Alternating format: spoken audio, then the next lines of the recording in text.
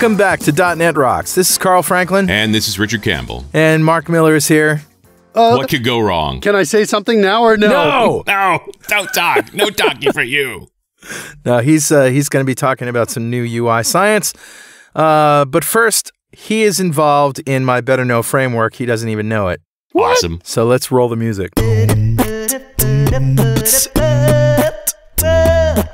Art dude, what do you got? Every once in a while, I bring up the fact that I started this other podcast on the science of low carb dieting. And uh, I also talked about Keto Festival happening a month from now in, in New London. We did a Kickstarter, we got funded, and we're having an event.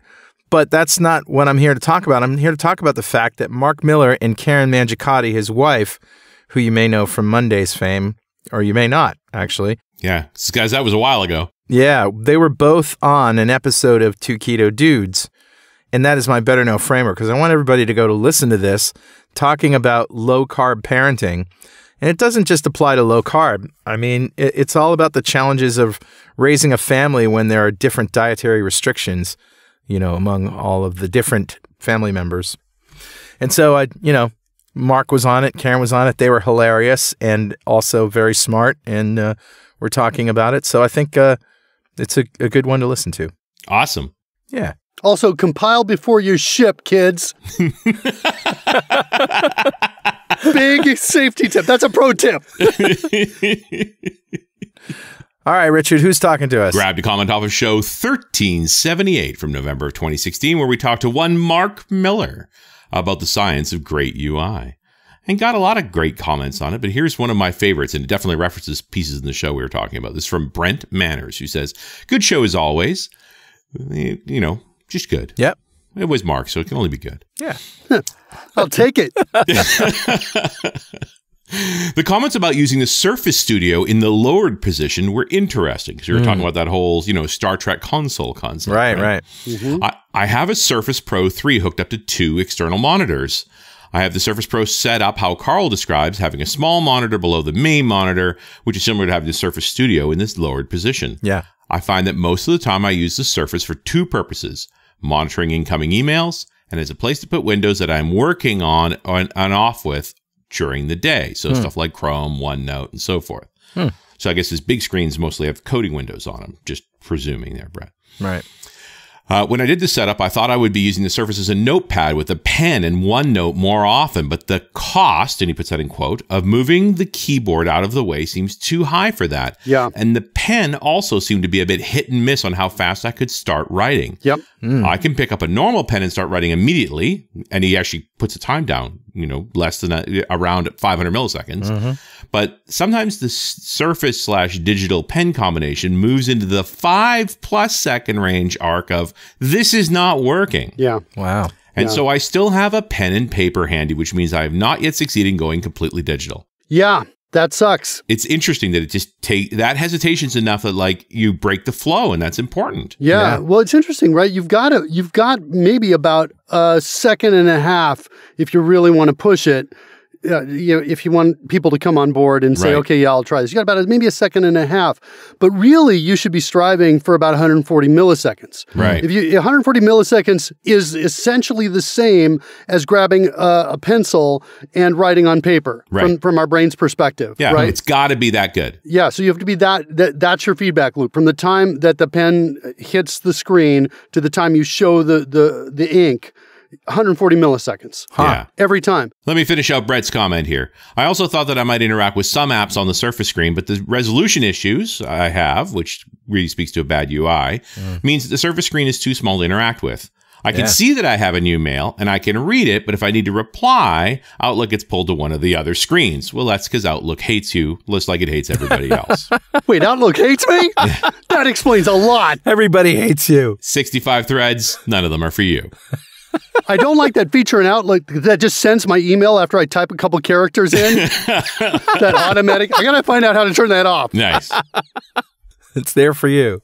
Uh, and Brett continues. Uh, so I decided to try something different and put the Surface on the desk where the paper notepad normally sits and use the Surface as a digital notepad and use a normal Windows tools to cover my use cases from above.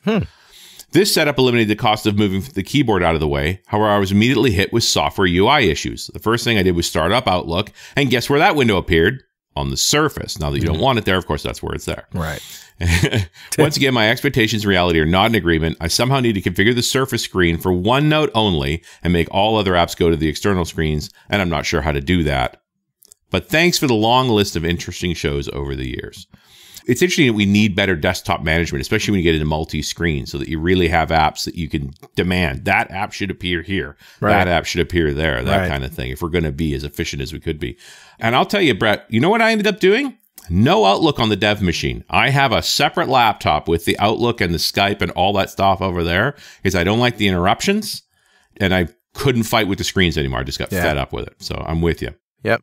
Too distracting. Yep.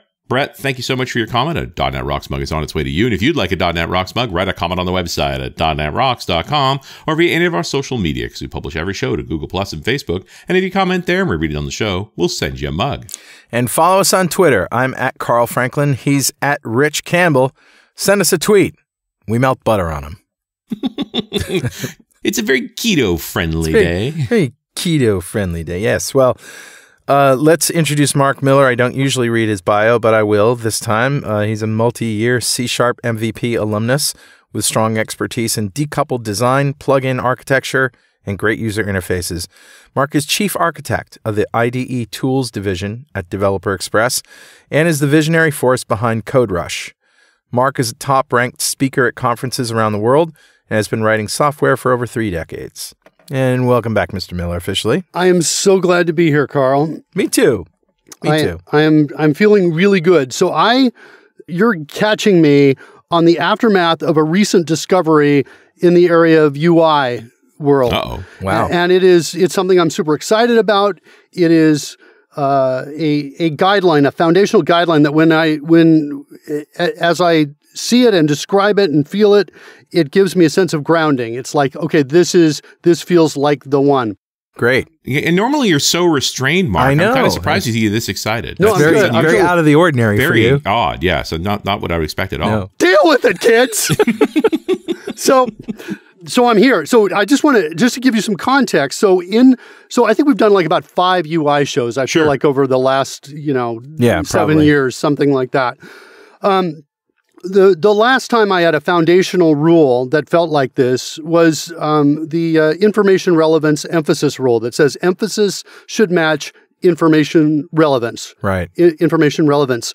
And it is i it's a it's a simple rule. It's a rule that you that applies to many different uh, problems with UI uh, and fixes to the UI and essentially means the amount of emphasis you give something which can go from zero which is essentially background a, uh, a uh, a, uh, a white or a back white or black background all the way up to uh, a great deal of emphasis um, such as black on white for example uh, and so that's what your emphasis can do, and that should match the importance of what you're trying to convey.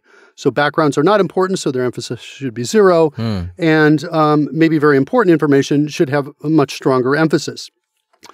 So that's th- one of the foundational principles of the the science of great UI, uh, and some of the things that I've been talking about. And and you know, I over the years I know I've I've said things to to to both of you. I've said things, you know, like I'm looking for the the kind of the all in one user universal formula for for good design and great UI. And uh, I'm uh, I, I'm not bringing that today, but we get a step closer.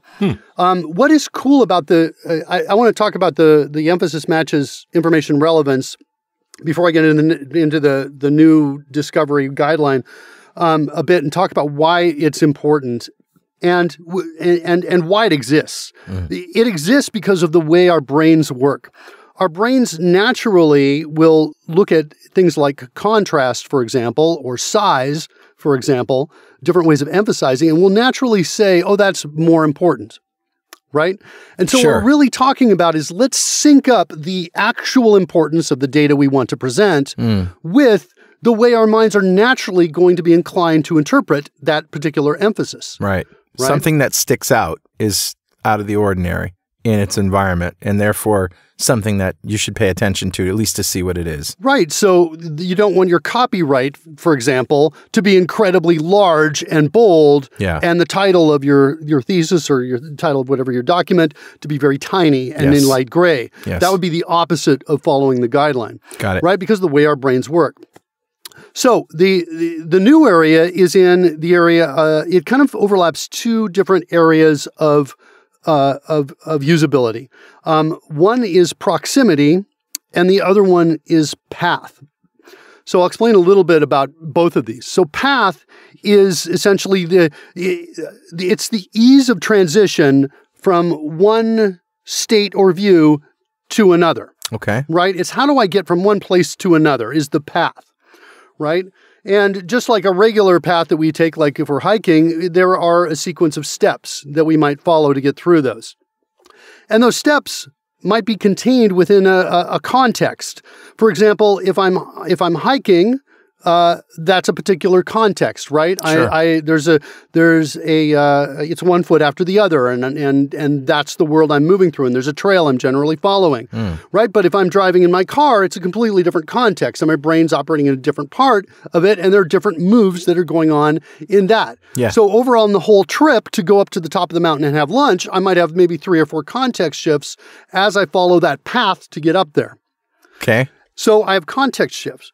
And then in, the individual steps themselves can have different properties. There can be a precision. For example, maybe on that path up the mountain, I've got to cross over a log that's wet and slippery. Yeah. Right? So I've got to walk Really across to that log attention. and I have to pay attention because King Kong is behind me and it's over a giant valley, right? Why would they do that? this is a state park. You It would not expect that. So I'm crossing, I'm going across that. So that's a different context and it requires a great deal of precision. I- Yeah. and when precision increases, so does cognitive load. Right. Right. And we talked about this before. When Yep. your users have an increase in cognitive load, their situational awareness diminishes. Goes down, yeah. Right? It goes down, which means you don't make great decisions because you don't have all the information. Right. Okay.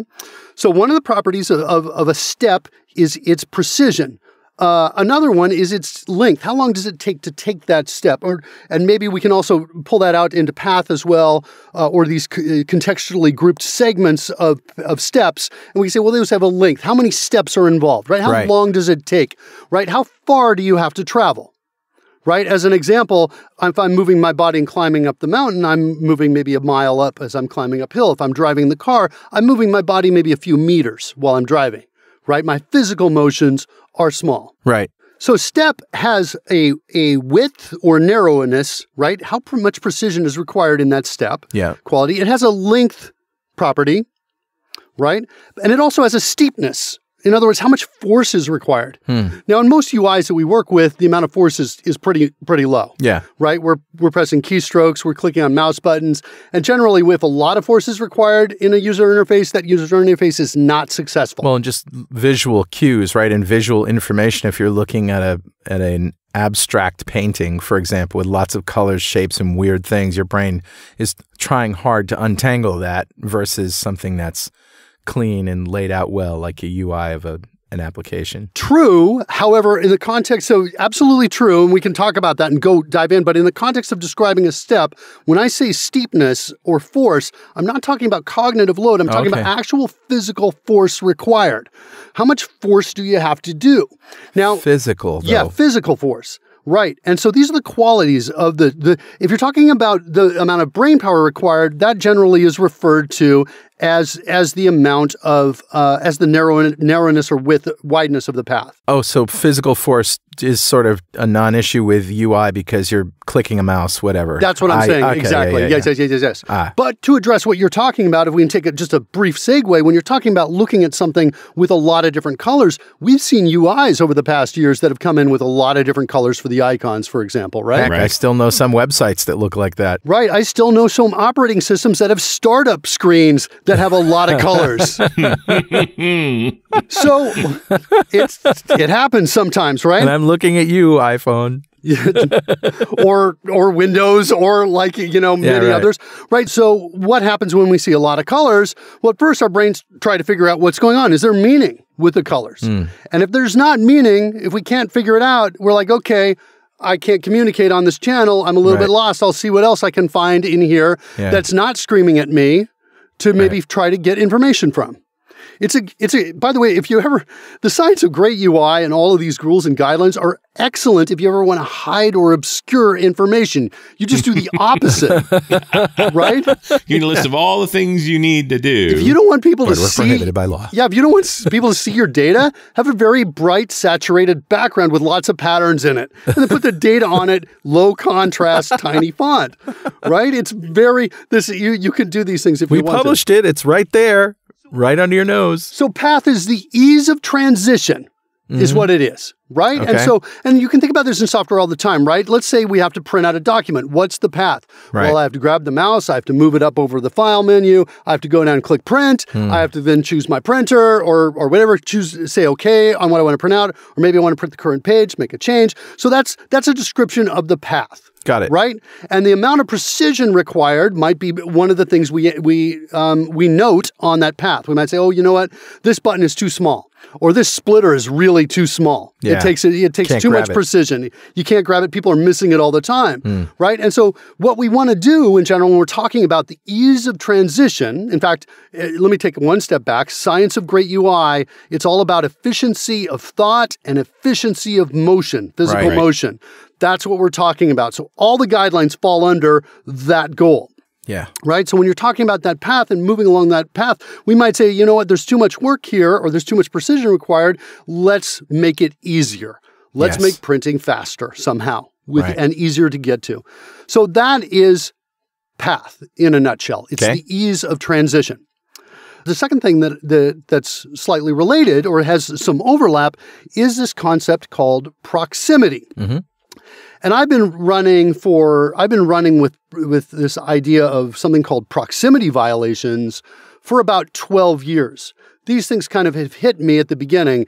And in addition to so so with regard to rules that I find violated all the time in design, in designs that are out there. And it doesn't matter what kind of designs we're talking about.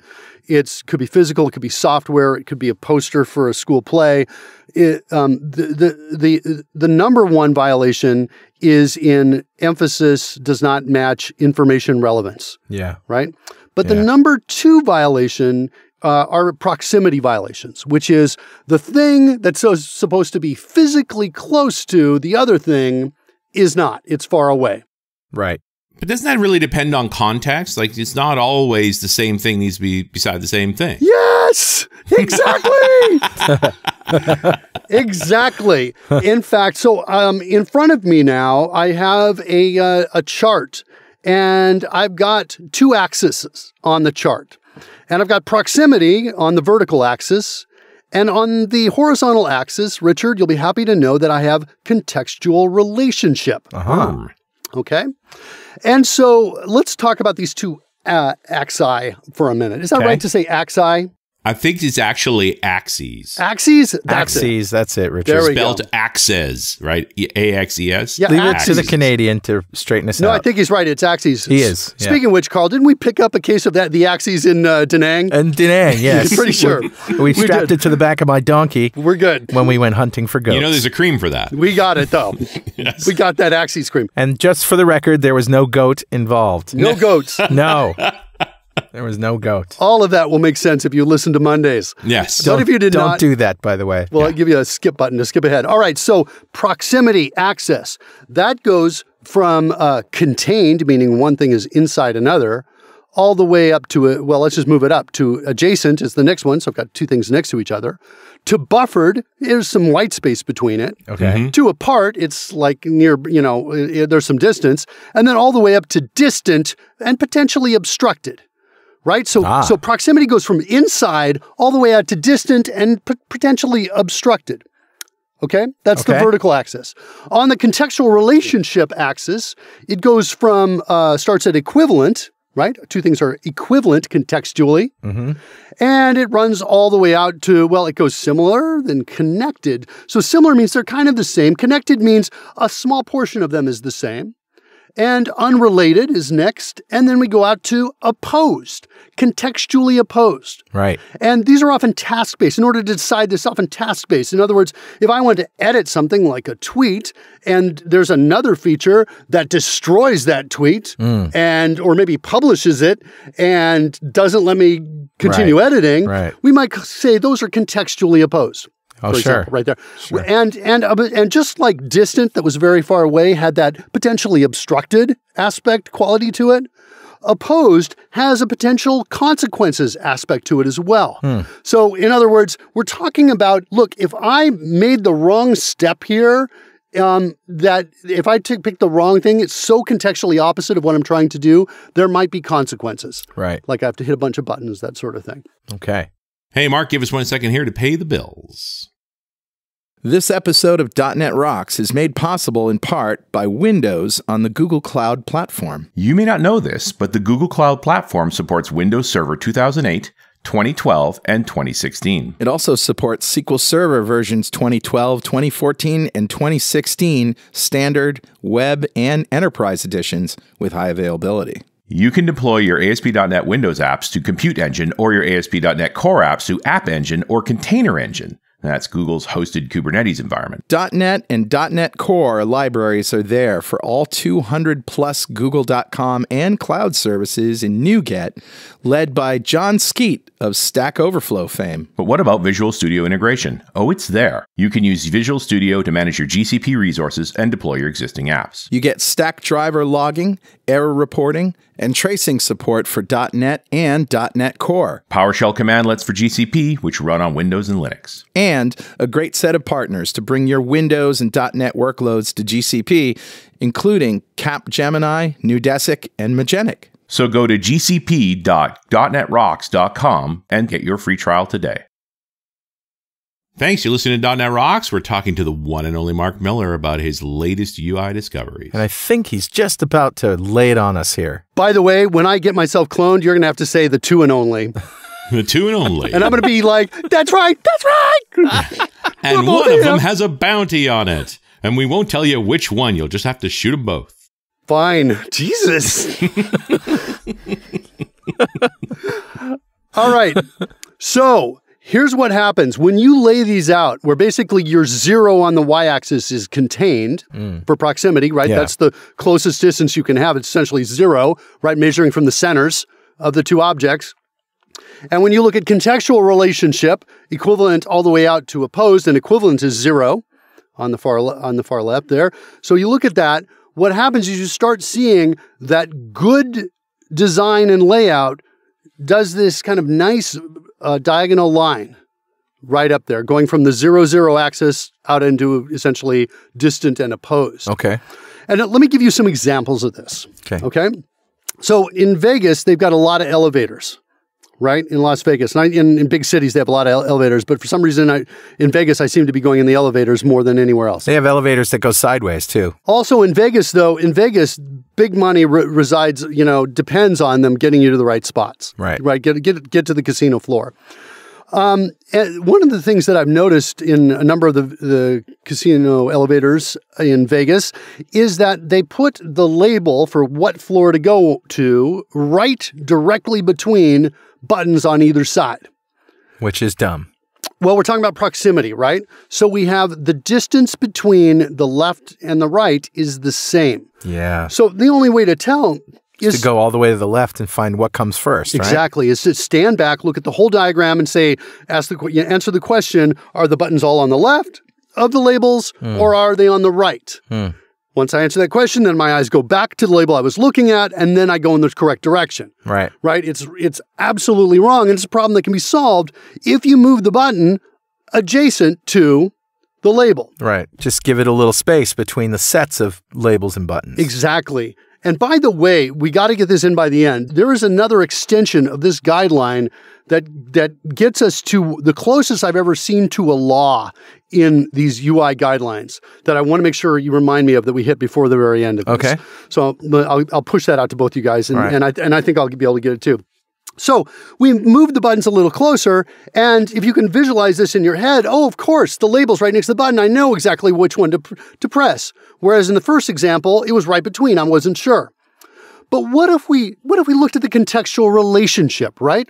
We're talking about a, a label that says like 30, 30th floor, and we're talking about a button that takes me to the 30th floor. Right. Right.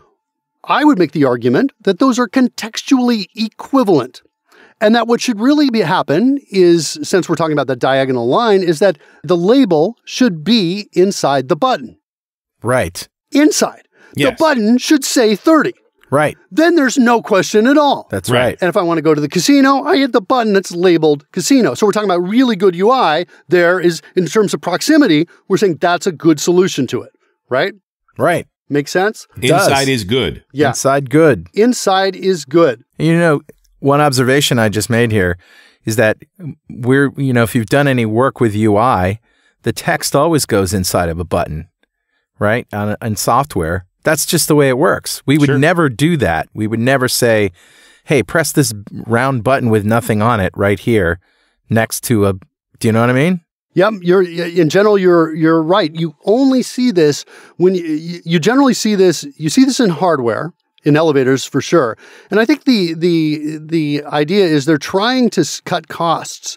And so in the past somebody said, "Well, here's an elevator that drills holes and puts labels down." Hmm. And that's it. They never really thought much to do good design. And there are, are a handful of elevator manufacturers and and the thing is is you're not selling your elevator based on usability. Yeah. You're selling it based on probably cost or Right. and or speed, elevator speed. That's what Yeah, you're trying yeah. to sell. Yeah. All right, so that's that's at your origin point. The the the label inside the button. Yeah. The next contextual relationship as we move away from equivalent is similar. Okay. And a good example of this is uh, you see this in uh, office applications where you see cut, copy, and paste Right. buttons adjacent to each other. Yeah. Those are clearly contextually similar operations. Right. And they're adjacent to each other. So we're building that diagonal line as we go up. Hmm. The next the next piece over in terms of contextual relationship is connected. And uh, my favorite example for this are paragraphs of text, right? Uh, imagine three paragraphs of text, right? Um, those are connected pieces of information, Sure. right? They're not equivalent. Um, uh, they're not similar. It's not saying the same thing over and over again. Right. They're connected, Right. and um, and that lines up to the buffered uh, uh, proximity, Oh, meaning sure. that there's space between them. Okay. Cool. And when you look at those, when you look at those paragraphs of text, they look like kind of, if you step back enough, they look like kind of blocks of, of you know, of symbols, Information. of information with separations between them. Right. So connected should be buffered. Right. And then you have unrelated. And uh, I have an example of this that I encountered on, at the Delta Airlines website where I, I was booking a family vacation. And uh, the Miller Mangicotti family is vast and large. And so I had just filled in information for six different people frequent Right. flyer numbers, names, all kinds of stuff. Right. And I'm right on the, the cusp of purchasing Yeah. and uh, and I'm confronted with two buttons. One says review and purchase, and the other says start over. Oh. Okay. Yeah. Now I'm pretty sure one of these buttons you do not want to press. You are exactly correct. when when I saw the when I saw the start over, anxiety and a cold sweat Right. because for some reason I like to you know challenge myself by you know my I found my mouse drifting over to the button a bit. And, and you know, you're always used to clicking the button on the left, and that's where this one was. It and it was, was like, on the I- oh, it's on the left, man. It was, That's where I'm going to click. But you know what Delta Airlines did? They put the two buttons as far apart as they could on the screen. Interesting. And they made the review and purchase button red, which generally I think people more uh, at least can Yeah, brings your eye to uh, it. connect with a call to action. So unrelated, right? Let's keep those apart, Right. right? Yeah. and then opposed. So the best example I have for this, this is actually in something that um, uh, my company Dev Express built for me. So you guys may not know this, but I have to commute to work, and when I commute, um, a lot of uh, bad guys from competing companies try to take me down. You know, while I'm Are you talking about getting up and going to the bathroom? So, no, Carl, this is all real. So they build me a uh, a panel for my car, and I've got a a, a- a beautiful, big, giant blue uh, start engine button. Okay. And right next to it, I've got a beautiful, big, blue eject button. and right underneath both of those, I've got beautiful, big, blue oil and smoke buttons for, you know, what I got to do in case, you know, the competition is trying to take me out while, I go while I'm going to work.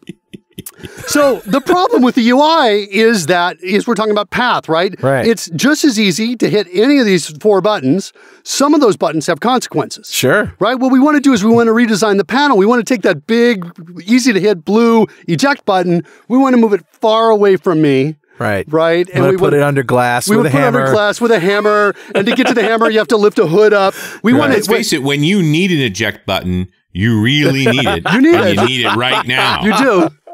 You, you're right. That's that's what the designers told me. they were saying that's why we put it closer to you, and the start engine button is farther away.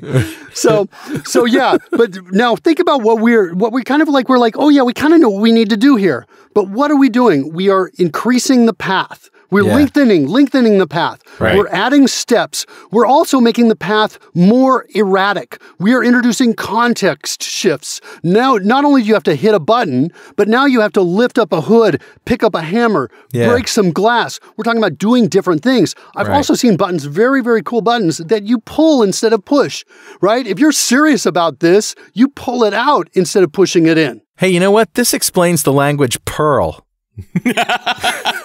And that's why I'm here, kids. Hey, Richard, yeah, buddy. guess what time it is now? Uh, it must be that happy time again. Yeah. It's time to press the basement button in the elevator of Mark's brain. Oh,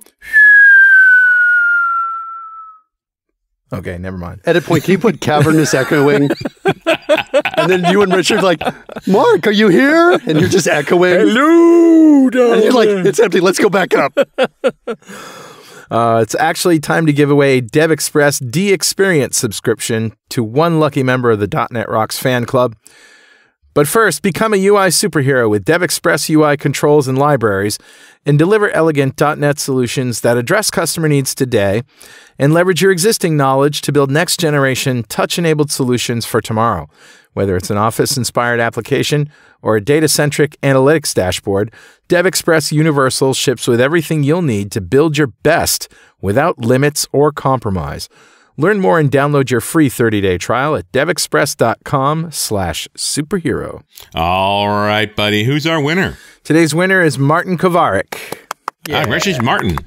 Golf clap for you, sir. By the way, that product you just gave away includes a product that I work on at DevExpress called CodeRush. Mm. Yes. It And does. CodeRush has a feature called reorder parameters. Yes. Hmm. And reorder parameters does what it sounds like. It reorders the parameters.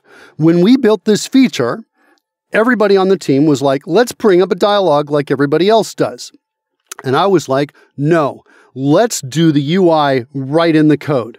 Yeah. Because the UI and readjusting those parameters, well, first of all, you already have that model of the code that you're familiar with, right? Mm-hmm. Right. You, you're you're you're familiar with that, and you've seen that. And so, by bringing up a dialogue and giving you like a list of parameters, you'd have to change your your your model of the code. It's a it's a lot of context shift. friction.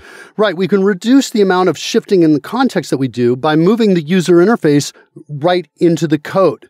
And so we just simply hit the arrow keys and you actually see the parameters animate and move around and change order. And when that happens, there's an endorphin rush to your brain, and you go, ah, I want to do that again. It's, well, uh, it, it may come from the absence of seeing the dialogue. Yeah, maybe. Right? That's where the endorphin rush may be. The first time you saw it, Carl, you were like freaking out. You Blown said away. some you said Yeah. some some words. It's like this is playing a video game. Well, anyway, uh, Martin Kovarik just won the DXperience subscription, a big pile of awesome from Developer Express, just for being a member of the .NET Rocks fan club. And if you don't know what that is, go to .NETRocks.com, Click on the big Get Free Stuff button, answer a few questions, and join the fan club. We have thousands of members all over the world. In every show, we like to give away stuff from our sponsors. And every December, we give away a $5,000 technology shopping spree to one lucky member of the .NET Rocks fan club. But you have to sign up to win. And of course, we ask our guests if you had five grand to spend on technology today, Mark Miller, what would you buy? Oh, geez, you guys always are doing this to me, aren't you? Only each time you're on the show. Yeah. Um, what do I need? Yeah, I don't know. I'm telling you, I think I would buy monitors. Is what I would do. Yes. So right now, I've got a I've got a really nice I have a walking desk, and the walking desk is actually it's got three monitors on it already. I recently bought a curved monitor for the main centerpiece. Yeah. But I think what I would probably do, but the other sides I've got like a, a maybe a standard monitor to my right, and I've got my laptop to my left. Yeah. I think I'd buy like maybe uh, two larger curved monitors for those two positions. I think that's you like the I'd do. curve, huh? I do like it. It's like the first time I really liked it, and then later I was like, oh, it, it was like I didn't notice it anymore. But when I first got it, I was like, I kind of like this. Now I think I want it even curvier. Hmm. Yeah. You know, Dell is now making a 32 inch 8K monitor. 8K? 32 inch 8K. Do you have to have like superhuman eyesight to be able Oh, to you read? can't see a damn thing on it. Yeah. But it's a one way to spend 5000 bucks because it's $5,000. It's good for everything except text. It's a, th- yeah, it's a 32 inch display that's 7680 by 4320 Wow. at 60 hertz. Wow. That's insane. Yeah, That it's is insane. insane. Yeah, I'm not. I guess I'm. I'm. I'm kind of happy to live in a world where I don't have to have that monitor Yeah. all the time and work with those kinds of you know those kinds of issues. Yeah, uh, but you know, I love this 43 inch 4K. I'd get more of these. They take up a lot of room, but every it's you know it's 120 DPI. Every pixel is usable Right. at 100% scale. Yeah, yeah, I'm a fan. I'm a fan. I've also thought about stacking up a second level across all Yeah. the three Hmm. that I have, and which is it's crazy for walking desk because the walking desk it's uh, Richard's seen it and Carl has seen it, but this desk slides across the floor. Right. Right. So so if I want to sit, I pull it all the way back, and I've got this throne essentially in the back of the room that puts me up near the ceiling because I'm so tall anyway when I walk because I don't want to adjust the I don't, the height of the desk, hmm. and then I just slide it forward. So already it's insane with the three monitors on it, but I I kind of want to push it to the next level. I want to get to a new level of insanity. And speaking of new levels of insanity, did we actually get to your new discovery? No. So so let's go.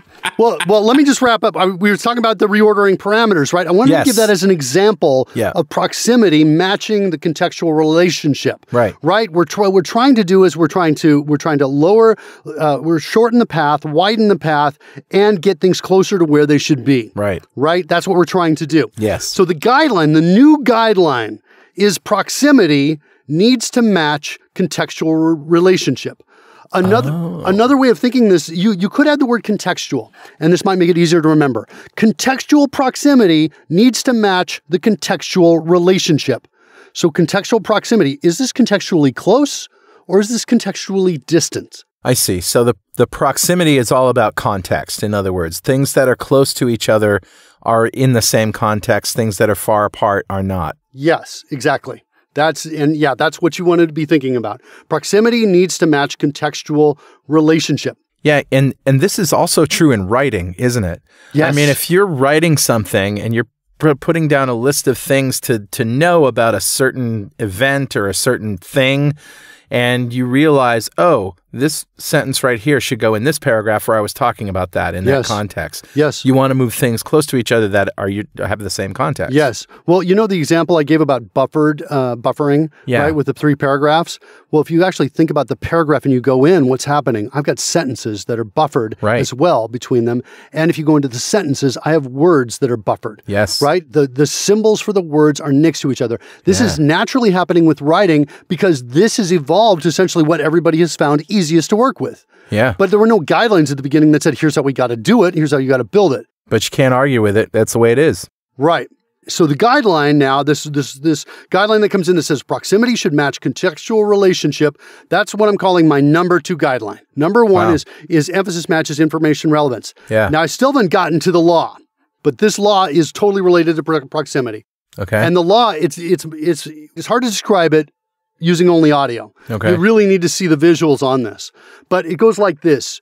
it goes like this related element proximity, right? So the, the distance between related elements. And let's go to that elevator example, right? Okay, sure. Let's say that instead of moving the buttons closer to the labels that they were representing, we move them closer to the other labels. Do you see what I'm oh, saying? Oh, Sure, yeah. Right? Now you're really confusing Yes. people. Related element proximity must be less than unrelated element proximity. Yes. This is the law. Yes. I want to call this Miller's Law almost, but that might be a little too pretentious. Uh, I, But, okay. But you cannot. I've, you. It is incredibly difficult to violate this That's law right, yeah. and still have good UI. I just. I'm not seeing it. right. Right. I, I am having difficulty seeing it, and I every time I do it, I see examples that it's it's broken. And it doesn't just apply to user interfaces and software. This is a design principle, isn't it? Yes, this is everything. This is everything you want when you want to communicate. And not only does it does it apply to everything you want to communicate visually, it also applies to everything you want to communicate using only audio. And it also applies to everything you want to communicate using time, right? For example, it can be a time through an interaction in an interface, or it can be time in a podcast, time in a movie. It can be time in an animation, uh, uh, an animatronic presentation. Time in a joke. Sure. Wait a minute. Yeah. Is Yes. there such things as jokes? I don't know. I've never heard hmm. of one. I've never heard one. Never There you certainly never spoken one. What the what? You should listen to Mondays. Is that really what we're going to take away from this show? No, but actually? seriously, timing and humor, timing and art, yes, yes. Well, timing and music. think about what happens, right? The punchline is connected to the setup, yes. but there's always the pause before the punchline. Right, right. And some great comedians can actually tell the setup without the without the punchline necessarily, right. They just trail off and they let you fill it in in your own time. And conversely, you can also tell a joke by just telling the punchline. What? Most people take the camel into town to get girls. That's true. That's true.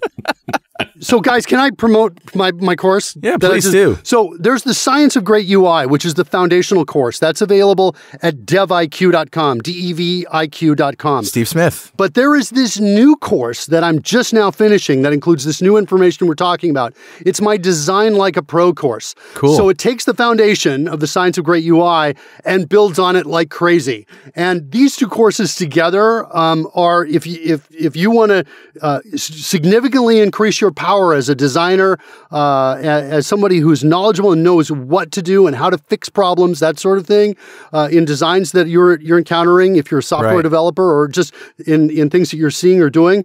Um, this these two courses are are great for you. And then I also want to plug CodeRush at devexpress.com.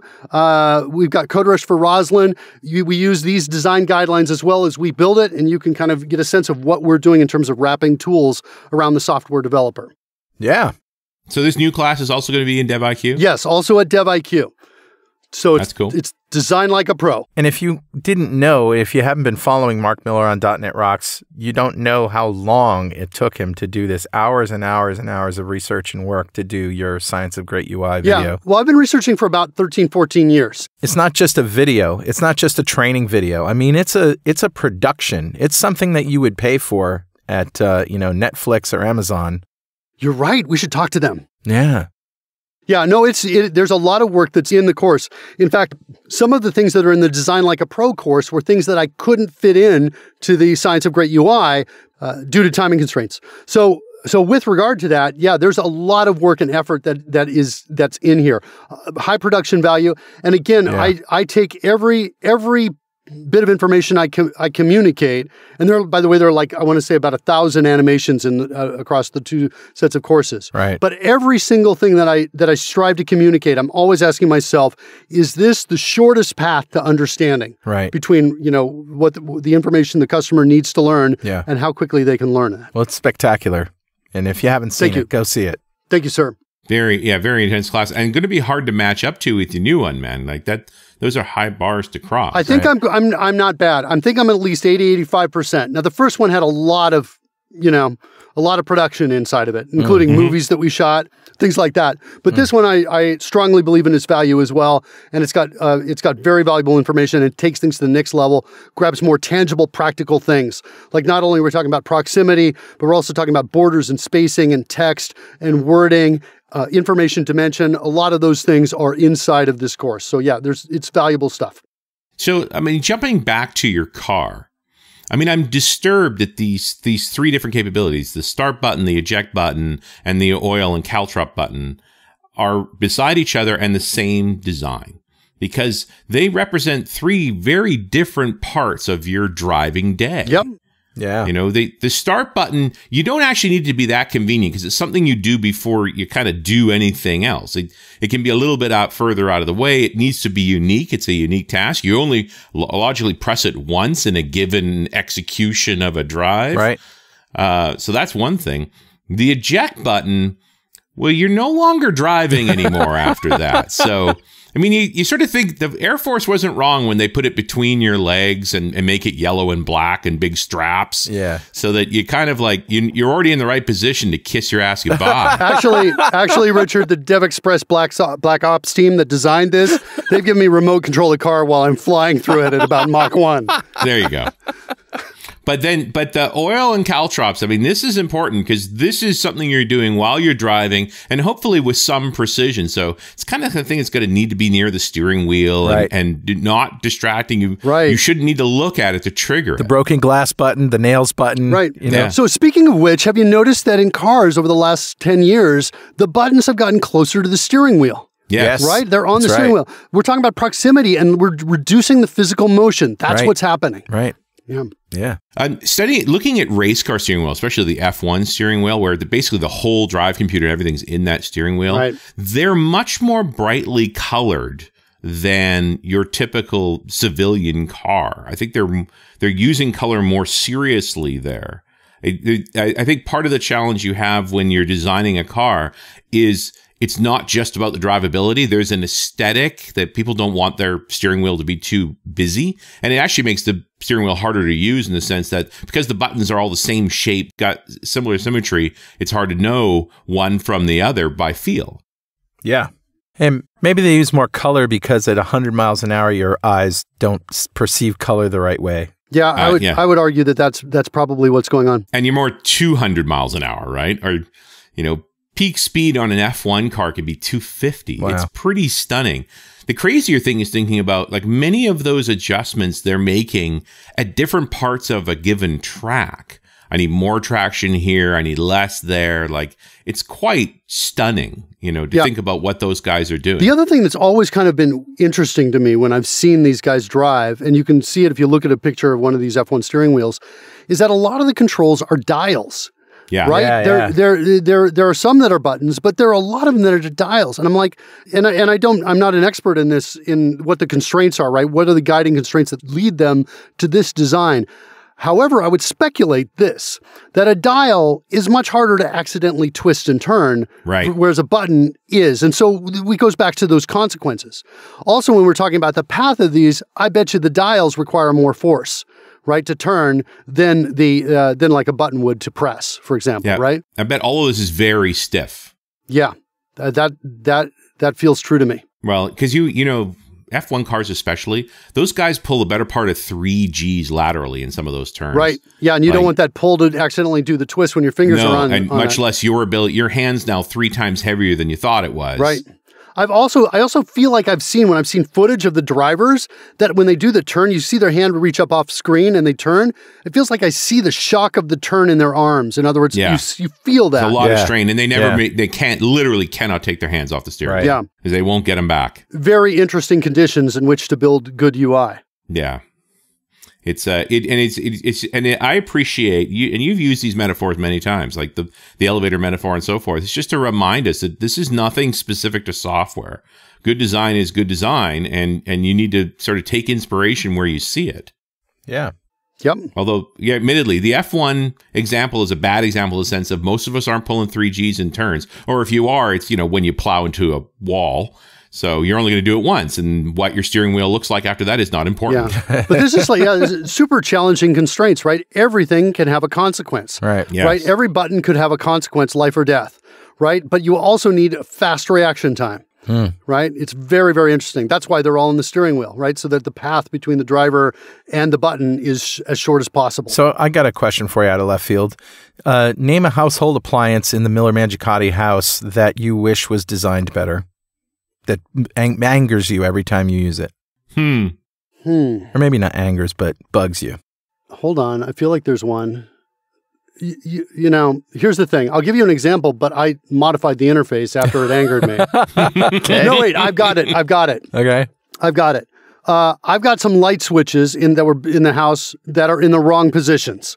The light switch is close. It's it totally violates the law I talked about. I see. So the one closest to this room is on the other side, and the one Exactly. close to that room is on this side. I'm so angry about that. and I'm like, you know, I, I have changed a few of them. Yeah. But the guy who did the the wiring in our house, if you're listening to this show right now, you are an idiot. you're an idiot. Wait, Whoever we, you are. we have the electrician on the line right now. You are an idiot. Oh my But god. you know, the normal goal for an electrician is to pull as little wire as possible. Yeah, well, Right, that may be what he was doing, but it's like it's like oh, you just switch these over, and it's so much more usable.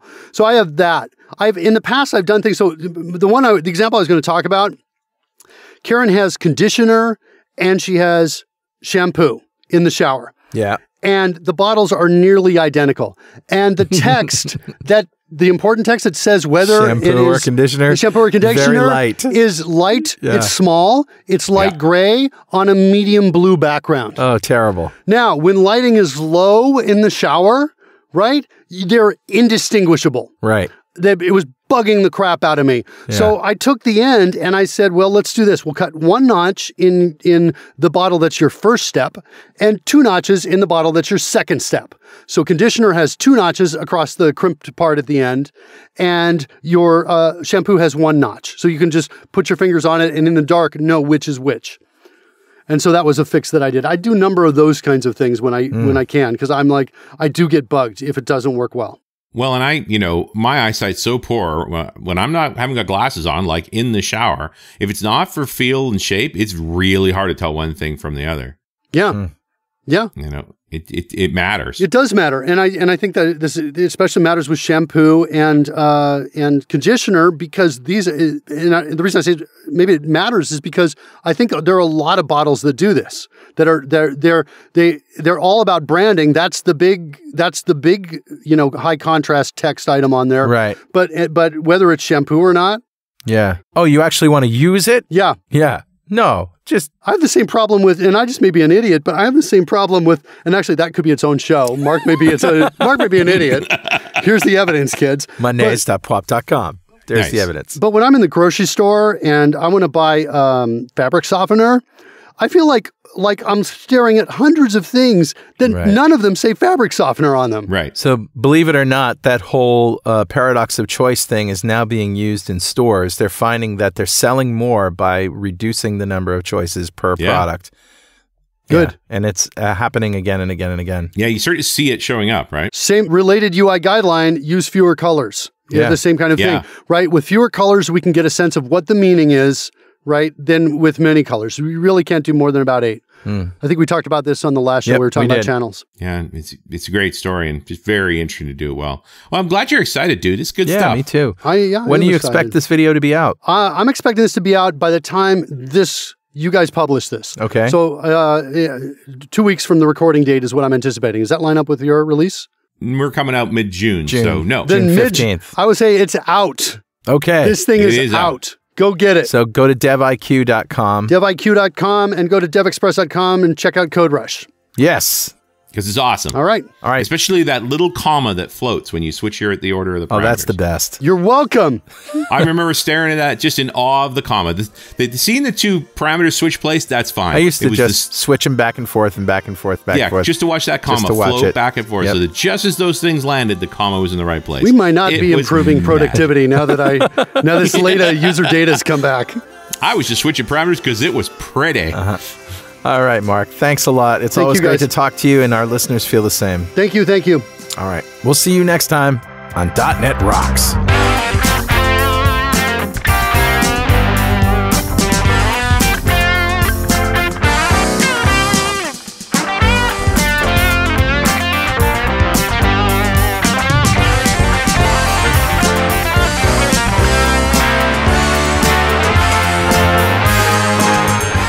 .NET Rocks is brought to you by Franklins.Net and produced by Pwop Studios, a full-service audio, video, and post-production facility located physically in New London, Connecticut, and of course in the cloud. Online at pwop.com. Visit our website at dotnetrocks.com for RSS feeds, downloads, mobile apps, comments, and access to the full archives going back to show number one recorded in September 2002. And make sure you check out our sponsors, they keep us in business. Now go write some code. See you next time.